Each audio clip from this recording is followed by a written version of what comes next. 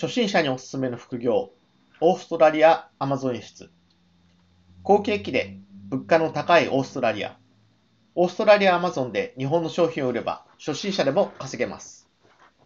半年でアマゾン輸出のスキルが身につきます。オーストラリアの物価は日本の3倍。だから商品を見つけるのは簡単。日本と違ってアマゾンのライバルは不在です。オーストラリアには使えるネットショップがありません。Amazon を使えばたくさん売れます。